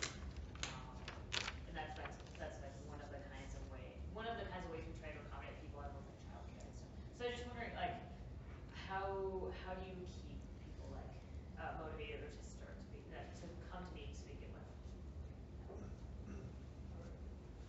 Okay, so we'll just, um, maybe work down the line, uh, sorry. do If you want- wanna go to that side of the line and come this way, Oh, that'd be great too. Or we can go by the order of speakers, we'll maintain the order of speakers. I think that's- Um, but again, I'm asking you to keep your, uh, record, your, uh, reports, um, or responses to the point, so we have maybe time for a second question. Okay, uh, we'll start with you, Kyle. Okay, Go on, here. on the question of informal pressures from like faculty to be students uh, rather than workers, I mean, for that we, we actually need to start organizing more seriously in the departments. And we actually need to start putting more pressure on faculty and make the union more of a presence in the departments. So, for example, a basic idea I discussed very briefly, like workplace mapping. You can start mapping all the different uh, seats on all the different committees in the department, and you can actually start doing an analysis of how power works in the department and how management takes place. And I mean, that can provide you with the basis for uh, more traditional lobbying strategies, but also more direct action kind of organizing. So my, my simple answer is we need to organize more, which from my presentation, I guess, would be the answer. Uh, uh, yeah. But uh, okay, the unevenness of the departments and like uh, the the problem of like say the radical political science department or whatever, whatever. I think the idea of organic worker leaders actually speaks to this a lot because uh, the, the, the leaders in different departments and in different contexts are not always like uh, the, kind of loudmouth activisty types. So, I mean, you, the, the whole question of the organic worker leader kind of raises this who can actually move people, who has the social links, who has the workplace links to actually get people out in their departments. And we actually have to go looking for these people. Like, they're not the people that come to union meetings. So, I mean, that's, that's kind of like the problem uh, that this whole thing raises. And more generally, I think the, the latter two questions were about the question of like union meetings and stuff. I think we have to find like bridges uh, from top to bottom. There are going to be a lot of people who can't attend uh, union meetings all the time. It's just a structural problem, so we have to start finding ways around that. Like in 3903, we have a horrific problem with contract faculty not attending meetings. So ways to bridge that is to have uh, stewards and organizers go talk to them in, in during their office hours. I mean, uh, eventually we can even start talking about home calls. Other ways to do things is people can support the union without ever going to meetings. we, we can give them uh, like buttons uh, to put on. Like we're, we're just gonna make these uh, buttons that have just like 665 on them, which is the number of uh, jobs that has been destroyed uh, by the, the fellowship model. Uh, and I, I, mean, it's not about the buttons per se. It's about finding these like intermediate steps for people that can't always come to meetings but do want to show solidarity.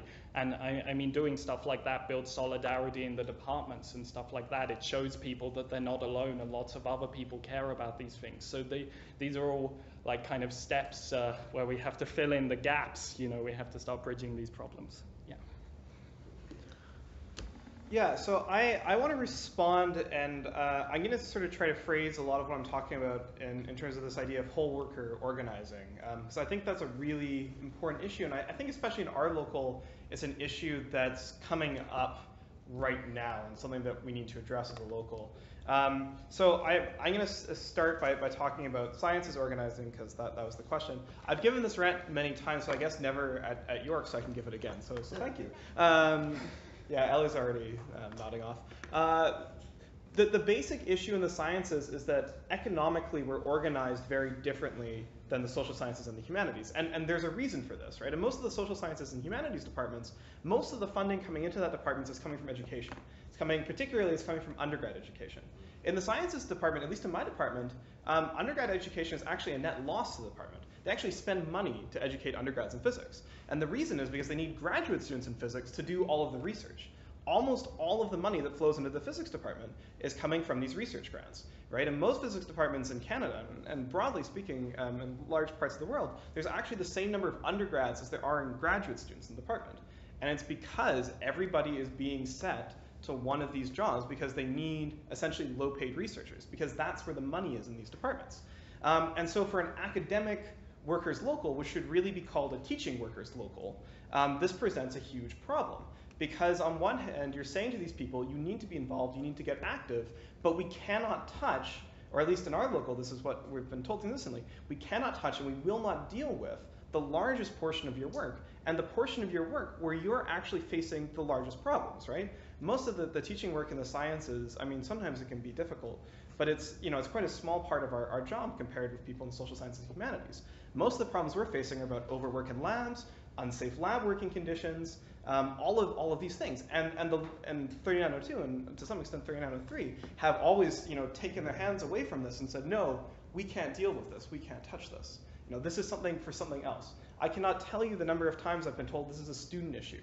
And we will not deal, we're a labor union, that's a student issue, so we can't deal with this. And this, this frustrates me to no end uh, because you know we're talking about like the, the, whole worker organizing beyond just like the university being able to divide us up um, by identity or some form like this. They're actually able to take individual people now and divide them up and say this part of you as a person is a student and this part of you is, uh, is a worker and we're not going to mix those two and then the union comes in and they say yes that is correct. We're not going to mix those two either. And then the student union comes in and says, yes, that is also correct. We're not going to mix these two either. And so you have like you have individuals, it's not even we're not even separating groups of people anymore. We're taking individuals and cutting them up and separating them and say this part of you is a student, this part of you is a worker, and we're not going to touch those either way. And in terms of getting sciences people involved, I mean this this completely eradicates their issues from the table because most of their issues are not in teaching and education. Most of their issues are in lab work and research work which, because that's where most of the money is. Um, issues in the field. That's right. Uh, and so in order, like, you know, you, people talk about getting scientists and engineers involved.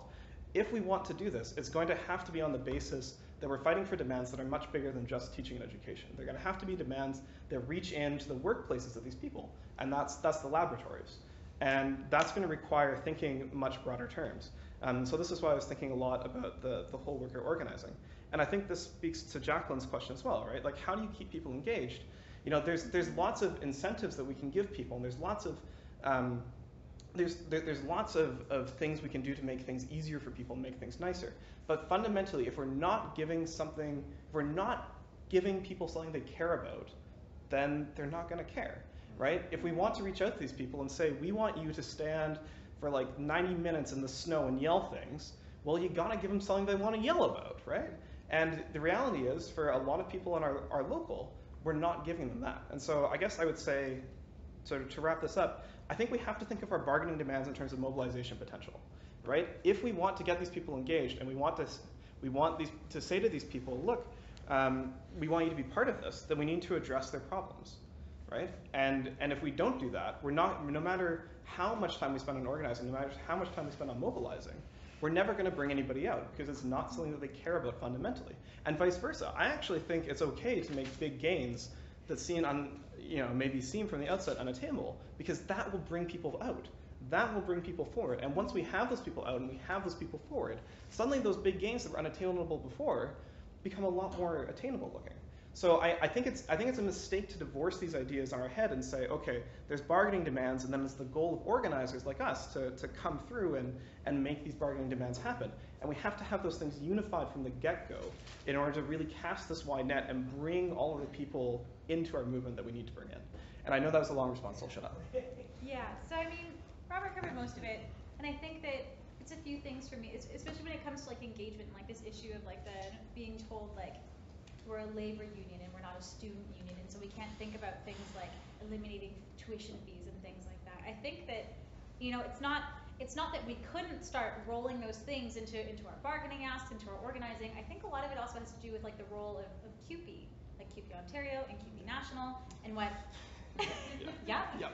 And what and what both of these spaces say the role of of a labor union is. Um, and I think that you know, in, in terms of like how we how we engage people and like how we get people angry enough to want to go outside and scream things for hours is to is to make the union relevant um, to their lives in, in many different ways, right? And so, I mean, I think that you know, even Robert and talking to you a few days ago about um, grievances and things like sexual violence and stuff like that, like that's a very that's a very tangible way to make the union relevant uh, to, to graduate students and workers' lives on campus for things that are happening every single day. But more often than not, what our union does is turns away grievances related to sexual violence because we don't think that we can win them. Um, and so when, when we do that, when we take the kinds of experiences that our, that our members are facing and we say, well, it's not like a labor issue, or we can't win this with the employer, so why are we even going to try, then we're giving up before we've even started. Um, and I think that that kind of like cuts our legs right out from under us before we even begin organizing. Um, I do also really agree, Kyle, that think that we need to have better ways of, of trying to bring people together, of trying to communicate our issues beyond just like come to this union meeting, come to this union meeting. Like our in 3902, and from what I've heard from 3903, our, our union meetings often end in screaming matches, right? Like our unions aren't spaces that people come to have like real conversations that, that, that produce real plans or gains or anything like that because of kind of like the politicking and, and, and, some of the showboating that happens in those spaces. And I think that our organizing can't replicate that approach. So our organizing can't be come to this meeting, you know, twice a month so we can figure out how to mobilize our membership. I think our organizing has to take very creative approaches. I think it has to look like house calls. I think it has to look like office hour visits, you know, and I think it has to look like doing those things right from the beginning um, with not just student groups, but also community organizations as well, and, and wrapping those in to our organizing and into our demands right from the beginning. Finished. Okay, Christian? Um, I'll try to divide by um, what kind of demands we need to put forward to, you know, outreach and mobilize people, and um, and then maybe um, engage more about the limits and challenges for general assemblies.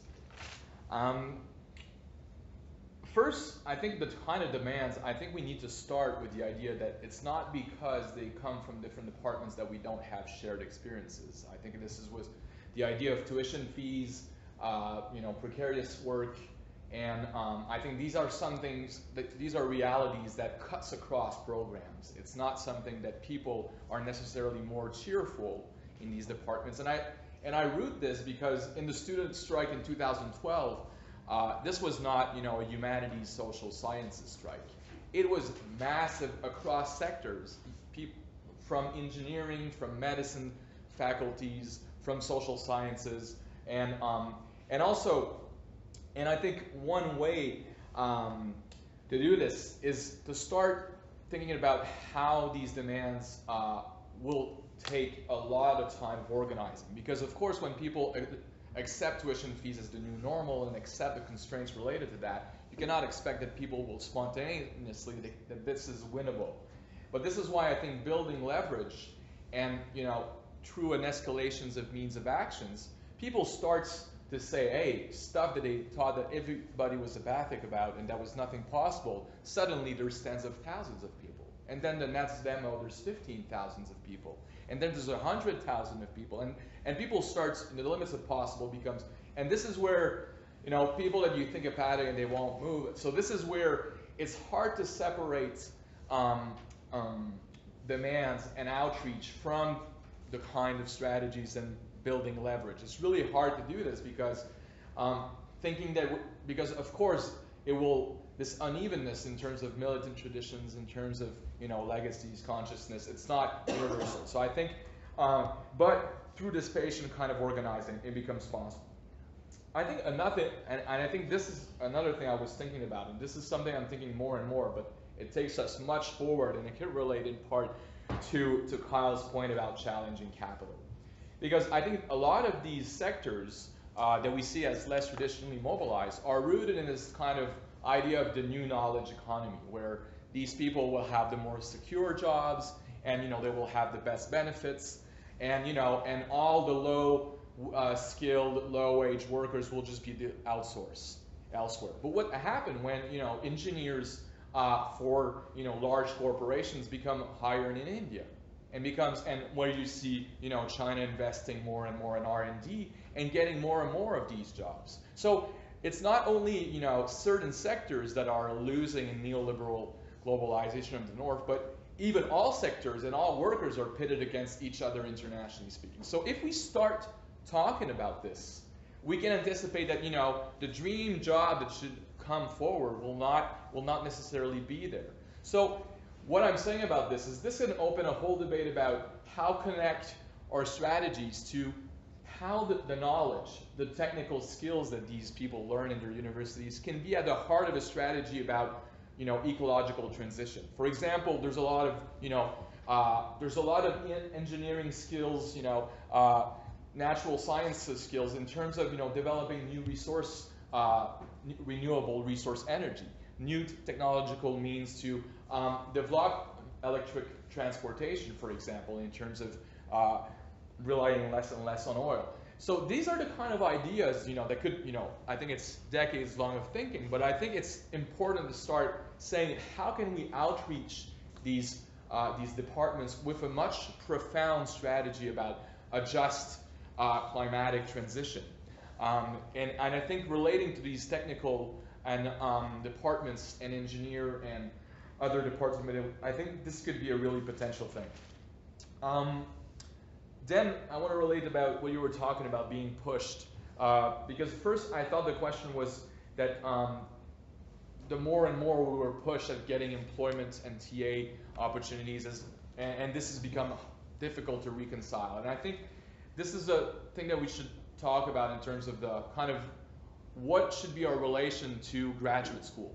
And should it be uh, should we rely more and more on contracts and wage labor in terms of securing our finance? Or we should start thinking about something that could relate to undergrads as well in terms of a universal financial aid program that's based on unconditional bursaries. So a living wage for all, from undergrad to the graduate. And we could look at, you know, instead of graduate students pitting against each other and competing for scarce resources with, you know, demands for OGS and SSHRC and all that crap, why not try to organize and struggle with undergrads as well and say, well, what are the kind of financial conditions that we should secure from primary school to university without, you know, saying that graduate school is a moment where, you know, competitive pressures need to intensify for, for and, and I think this should be a way to, but then it would pose, well, what are kind of teaching opportunities? But it could lead to a different way of thinking about it. Instead of saying we should rely on wage labor to, to um, then maybe lastly, to just respond to the issues of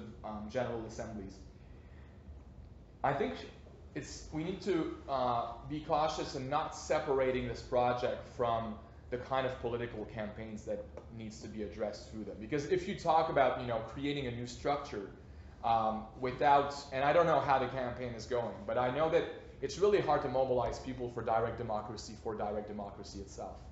I think it's people get mobilized in general assemblies because they think that demands are winnable. They think that their decisions in the general assemblies will be will make will matter and make a difference into the. So, for example, um, and I know from experience that it's really hard to have massive general assemblies without having these broad campaigns, which you know um, creates a, uh, a, a conditions for a general strike. so where you see the most students mobilize and come to a general assemblies is when people start saying, okay, we're going to make a strike and we'll, ha we'll have democratic accountability and we'll count on us to respect the decision. So this is where massive amounts of people come in. But before this becomes possible, I think the first step is to outreach and talk about issues and shared experiences. And this is the only basic way that you can get people to get to general assemblies at some point.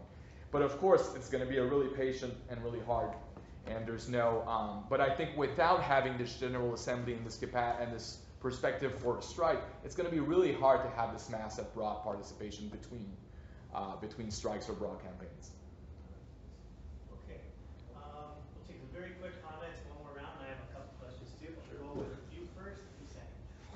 Yeah, okay. Uh, thanks for the presentations, guys. Uh, I, I thought it was really interesting, uh, the discussion we're having about how to engage uh, grad students and then also build solidarity more broadly. Um, I think it's funny uh, that I think, uh, what was it, Ellie, uh, you apologized for saying something about poli-sci students. but but uh, credit where credit's due, I think. Uh, I've seen a lot of it. I'm poli-sci myself at York. Um, they're like they're always involved in things, and they're very like in my many years, maybe too many at uh, at uh, at York. Um, people are really involved and passionate. They don't always have the, the right approach, and I've had to learn valuable lessons myself. But um, and as you said, uh, uh, Robert, uh, the structural issues, you know, are, part of the problem between sciences and, and social sciences in terms of who's who's active and things they're active about. But I think that the organizational sort of imagination, if I might, uh, of of like the active people, you know, who are trying to organize departments maybe, um, needs to be extended and broadened. Uh, there are a lot of blind spots, um, and I think we both saw it on the picket lines. Uh, well, at York for, cer- for for sure, but then also you were saying U of T, uh, people raping other members, uh, sexual assaults, harassment was more common, like sexual harassment, and just like using the picket line almost as a pickup sort of area. It's very, very strange behavior. Um, but uh, these things, like, we responded to it at York by trying to broaden uh, uh, sort of uh, and building. Uh, we tried to build equity and, and race uh, committees, like uh, uh, people, caucus of people of color and things like this. I they didn't always get off the ground, but addressing those blind spots is, I think, uh, crucial if you're going to build seriously because they they poison the work you're trying to do, right? Um, yeah. Anyway, so that's. Oh, I'm uh, a Unit 2 member at London Contract Faculty. Uh, My question, and as we know, there have been s- considerable tensions between the 2 members of the graduate students in CUPE 3903 for quite a long time. So my question is what about the future? Do you, our movement started among graduate assistants at the University of Toronto in the early 1970s. That's when I was a graduate student. Uh, And do you see the main realistic focus for our movement on campus as being among the graduate students as opposed to the contract faculty? I mean, uh, contract faculty members are generally older and at a different stage of life, and that's part of the cause of the, the tension. Is the main hope among the graduate students? I mean, it would be nice if it was among everyone, but how do you realistically see it? Yeah, um, and my, uh, just a couple of quick comments, because I could go on for hours and hours talking about this well. I mean, part of what your presentations, I thought were all very good. Part of what's depressing is that much of what you said went on, what we, how we debriefed in two thousand and two, two thousand and going down the line, uh, sexual assaults and picking up people Yeah. on picket lines and in unions is, is widespread. I mean, three nine oh three, it's been, uh, more than one case, more than the cases in the media, uh, three nine oh two. OPSEU right now, cases of sexual assault, leadership levels tearing that union apart, possibly leading to a leaving of the college system. Um, I think, Robert, your comments, for as a geographer, because we do science and social science in, in our discipline, I remember having a conversation graduate student, trying to, as an organizer, trying to get her on side, um, with the strike, and she said, you know what, I, I sort of like TAing, I don't really have a problem with that. Um, my lab, my, my field wage rate's pretty low, and I really don't like the fact that my supervisor makes me share a hotel room with him Yeah. in the field. It makes me sleep Yep. on the, on the, on the floor because I'm young. Yep. Um, so this kind of stuff happens, uh, and that's good. Uh, Christian, I think, uh, you, you said a lot of, of really interesting, my big question to you, is it, is it possible in Ontario, given the context? Um, and Kyle, I thought you gave a very mature and measured analysis. I want to challenge you on a couple things, though. First of all, you invoked the core of the Chicago teachers strike. Now, full disclosure, I supervised Pete Rogan's thesis. Yeah, I know. Okay, alright, so, but even Peter comes to the conclusion, um, after embedding himself there, that even though there's a lot of possibilities, there's nowhere to go afterwards. There's burnout among activists, and after you do that mobilization, how do you extend it? Is they're at a loss. So getting to that next stage, I think, is a bit easier, uh, or not maybe that easy. And then the last point, we we invoked Jane McAlevey, and that's very good, because her book is excellent. But for people who followed McAlevey's career, okay, she was an executive director of SEIU in Nevada. She also quashed a lot of dissent in that local from militants, okay, from people who were close, which sort of means her theory and perhaps her practice as a labor commentator and organizer has its own contradictions. And I'm just wondering how you might come to terms with that as well. Those are just my uh, comments for each of the folks. But we have a few minutes, we can continue on at Shopsies, but if you, anybody else have any questions to add? Anyone? Did everyone get a chance to speak? Okay, go ahead, we can go in the same order. Do, you- do you want to go first, or do you want a minute? Okay, I'll try. Well, no, no. I, I, I was gonna say I, I can I can go. Yeah, do you want to give me Yeah. some time? Okay. Yeah, I'll, I'll, I'll give I'll give Kyle a, a minute to, to respond to that quickly. Um, I want to just talk a little bit about like um, two things: uh, organizational creativity and and then contract faculty tension. So organizational creativity, I think, is great, and I think for the sciences, it's definitely what's needed because we're organized so differently. But I, I think we also have to be prepared to back it up right? Because like I cannot tell you. So so following the, the strike, the role I played is I was I was basically elected to what we had called the mobilization committee, and I was the person for physical sciences. So my job was to organize all of the physical sciences departments at U of T, um, which I've, I'd like to think I was quasi successful at. Uh, but I cannot tell you the number of times I went into the department and I said, like, what's going wrong? Like, let's let's talk, let's engage, let's chat. And they said, yeah, we've got this this real problem with overworking in our labs, or like we have this real problem with sexual assault. And then I would take that back and I was like, okay, here's a problem. What can we do to fix it? And I was told nothing, right? Like this isn't our issue, right? This isn't our problem. Um, and so like, yeah, like I definitely think we need organizational creativity, especially around the problem of sexual assault. I didn't mention this earlier, but you know, one of like the key things we could do in the sciences that I think would make a huge impact would be to really go hard after sexual assault because it's very prevalent, especially in a lot of the engineering departments. Um, and a lot of, because it's such a gendered thing, a lot of the people who are being targeted are really isolated as well, right? If you're in a big engineering department, it's very likely you might be the only woman in, in your research group, right? That's the sad reality of it. So, like, really, like, I think one thing we could do in the sciences right now that would be huge would be to go after sexual assault very hard. But if we're going to do that, we have to be prepared to back it up, right? We can't send these people in, find all these problems, and come back, and they say, well, we can't do anything about that because that that just totally kills the entire project. And so I, you know, I think this gets back to my, my previous point. It was just that if we want to be able to get people mobilized and get people engaged, we have to be able to address all of their concerns, no matter where that, that goes. So like the motto I keep trying to push in 3902 is, you know, the problems of our members are the problems of our local, right? And like I, I think we really need to kind of have that mantra that if people are having a problem, our local needs to be able to participate in fixing that problem. And that's that's the way we're going to build confidence, and and that's the way we're going to be able to get uh, creative with our organizing because people are going to know that when they actually find those problems, someone's going to back them up. Um, the other thing I want to talk about was contract faculty tensions, because this has been a big deal at U of T. For us, it's units one and three instead of one and two. Um, whatever, same. It's, it's, it's basically the, the same setup. Um, one of the, the largest issues at U of T is that essentially the administration has framed things in this sort of uh, zero-sum game. So they say, okay, there's a certain number of course instructorship jobs which are important for contract faculty because that's how they make a living. But they're also really important for PhD students because if you're hoping to become contract faculty after or get a teaching job or something, you need to have those, those teaching, those course teaching jobs on your CV. Um, and so the university has basically turned to the union and said, okay, how would you like to divide these between the two units?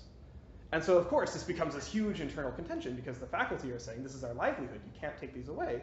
And, and the, the PhD students are saying, well, this is our future livelihood, you can't take these away from us either.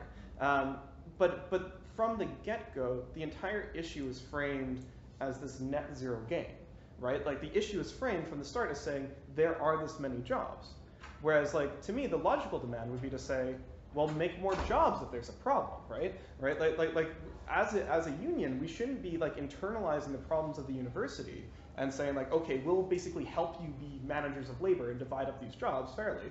You know, we need to turn back and say, well, make lower, make smaller classes, provide more jobs. That will that, that will ease these tensions a lot. Um, and and I, I, think internally inside at least our contract pack, I, I know almost nothing about Unit 2 at 3903, but at least for, for Unit 3 at, at 3902, I don't know why the 2 and 3 get, anyways, but um, at least at least at 3902, this is a huge problem internally in the contract faculty union because the university, so the university says to the union, okay, divide these up between Units 1 and 3, and then Unit 3 internally says, okay, how are we going to divide these jobs up amongst Unit 3? and it becomes the same thing. So in the last contract round, um, the, the, decision was actually almost like a two-tier deal. So it promised seniority, but only to people who had been working beyond a certain point, and it gave them job security, whereas people who'd worked less than a certain point uh, were actually, uh, uh had some of their job security erased. Uh, so it was, it was very much this, this deal to basically split that unit in two, but it, it's all based around the concept that there's this fixed amount of work to start with, and nothing anybody can do can create more work. So like in terms of like how to engage and involve people and, and also ease the tensions between these different units, I think you know we have to start challenging this demand and we, we have to start challenging that this idea from the university that there is this fixed amount of work to go through and there will never be anything else ever.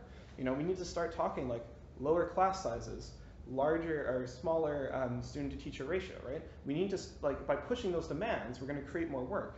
And I think that's going to help us really engage with faculty and engage with students. And that was actually one of the demands we had in 2012 uh, that didn't carry over to 2015. And I think that really negatively impacted us with contract faculty. And I'll shut up again because I've talked about it.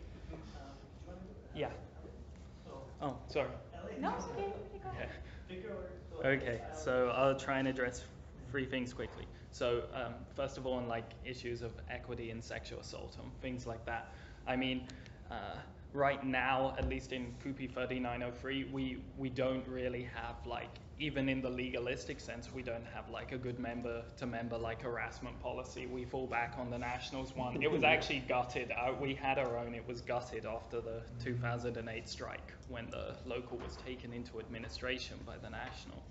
Uh, like, so I mean, there's, we, we kind of need to like bring some of that back in on the one side. And I, I think like another thing is there's not, in our local at least, there's not much of a like on the ground uh, attempt to like kind of mediate some of these uh, social, like they are social problems. Like for example, we could have stewards uh, uh, receive some training about this and maybe anonymously go uh, to people who are uh, there is evidence uh, that are engaging in like certain kinds of harassment, say on these pick, uh, picket lines or something, stewards could actually go to these people and say like, uh, hello, people don't want you to do this, could you please stop?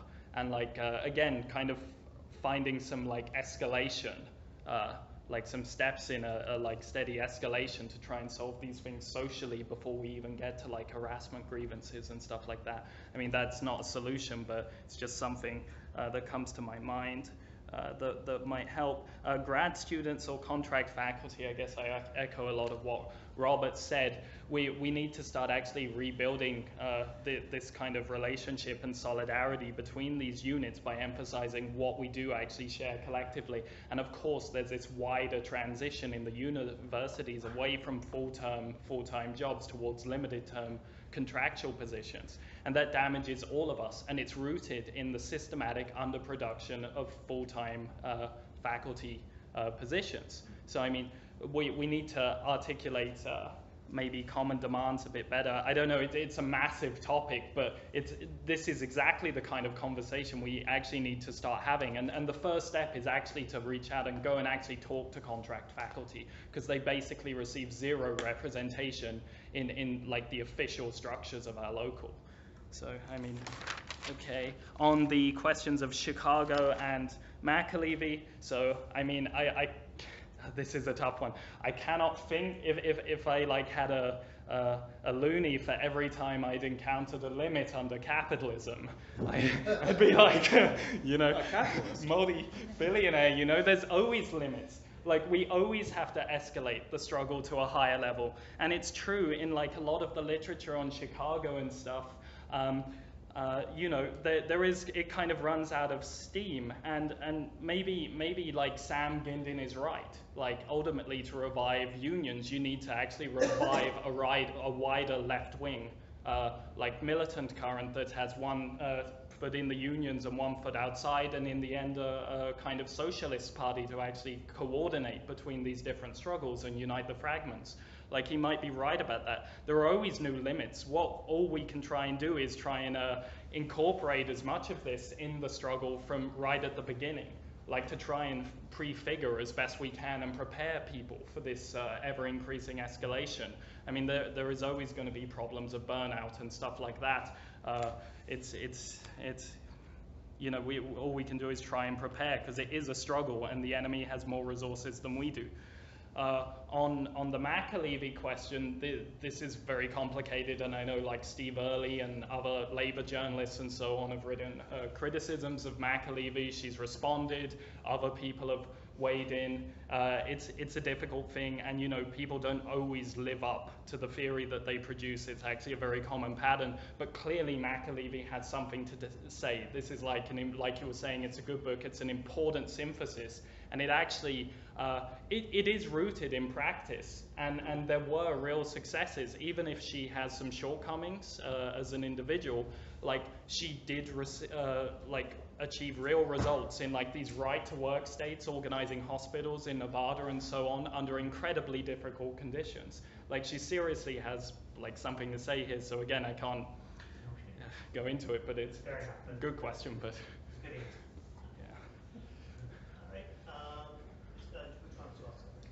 No, no, go. Okay, well, I can go. Um,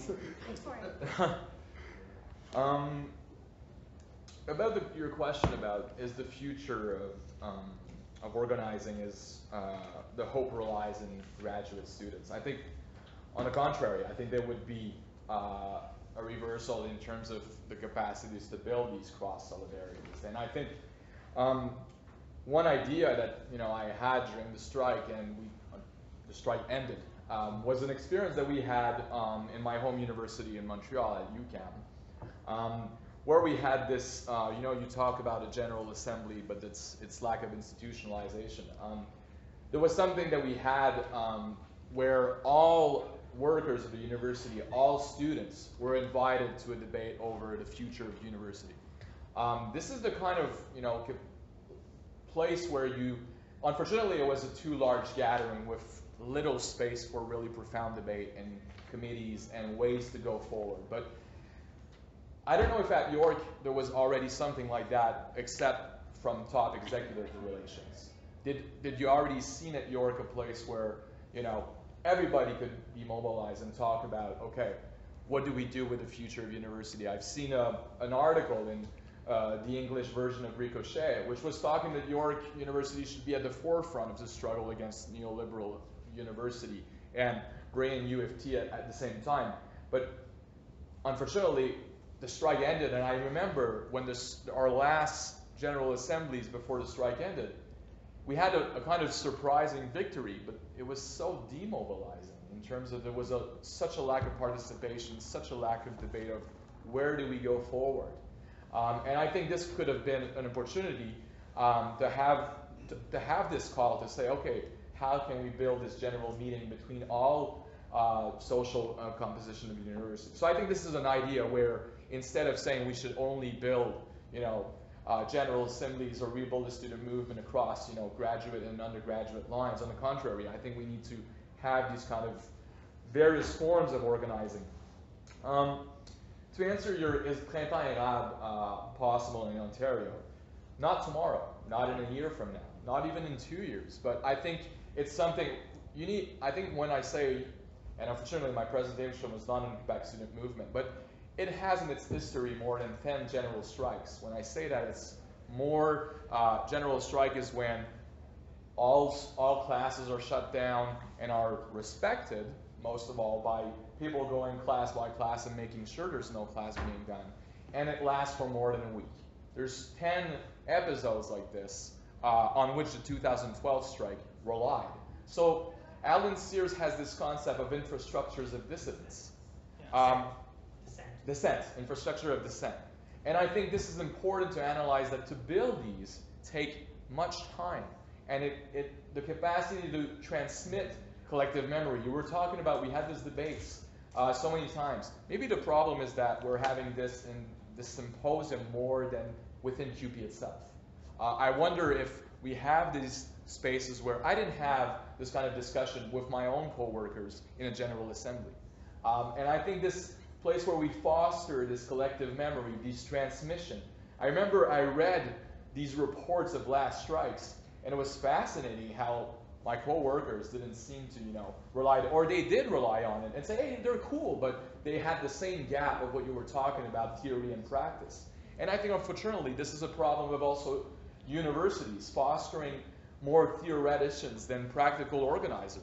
And, um, you know, Sam Gindin said, you know, every worker becomes a philosopher on the picket line. What I think, on the contrary, our strike was philosophers becoming, you know, practical organizers and being confronted to practical skills that they didn't have, and they tried to foster them.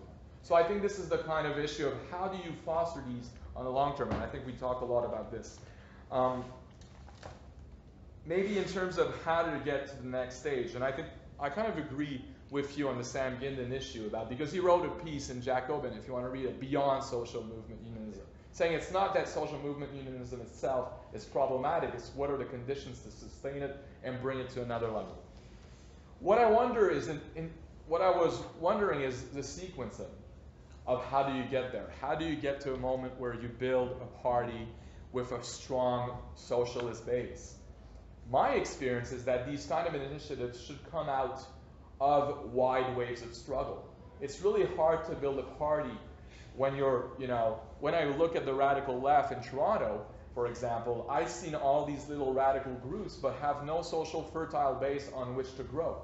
Uh, because these mass demonstrations and these mass mobilizations are really non-existent. And I think this is where I agree with the importance of the party. And I think my example was looking, for example, in France during the 2012 strike, where they were struggling against the, um, the increase of the retirement age. And the economy was shut down. You know, uh, you couldn't get gas at the station. Uh, and even that, uh, the government in power was still, you know, keeping its, uh, it was not, you know, so how does this ask that we need to confront the state and transform it, and we need to build our own capacities to do that. I'll stop there. All right. Last word? 30 seconds. Sorry. So there's there's so there's this thing that it's not even just unions, but most organizations do when they find that they have like issues of like racism or sexism or violence in their spaces. They do this thing where they'll look back on it and reflect it, and they'll go, well, why don't we organize like a caucus?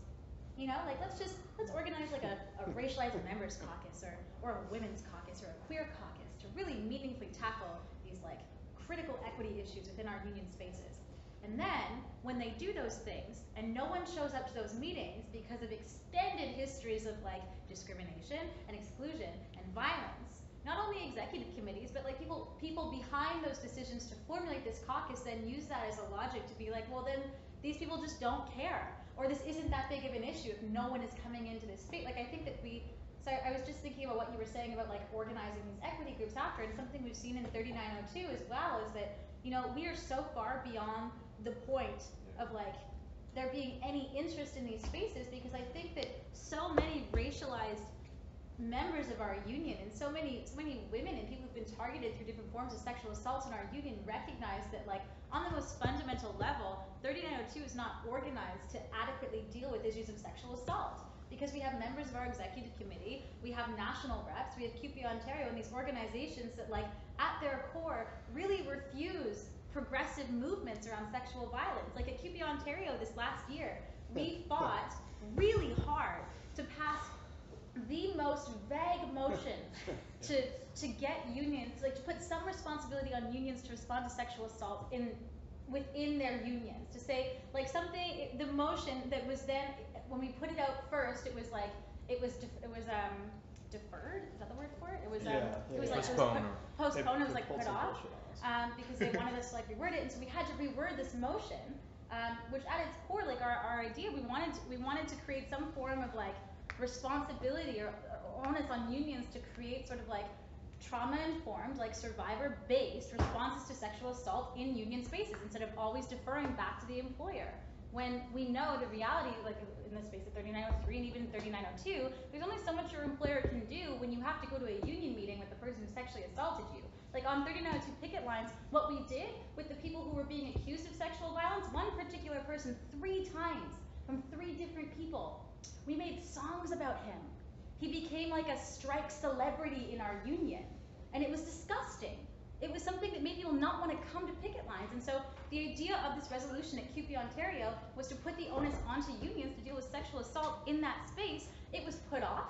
And when it did come back to the floor, it came back in such watered down language that there's not really any idea. There's, there's not like the, the intention has been entirely lost. And to get it to come back to the floor in the first place, we had to sit through a conversation with the president of CUPE Ontario, Fred Hahn, who who spoke about his concerns around bringing up issues of sexual assault in union spaces, and his justification for that was, well, you know,